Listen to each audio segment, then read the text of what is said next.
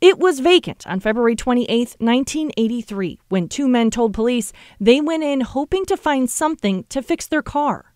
Instead, they made a grisly discovery when they flicked on a cigarette lighter in the dark basement the decapitated body of a little girl lying on her stomach. A cold case of this magnitude, I think, at, at various points over the years, it's received some national attention. Yes. She was naked from the waist down, wearing only this bloody yellow v neck sweater.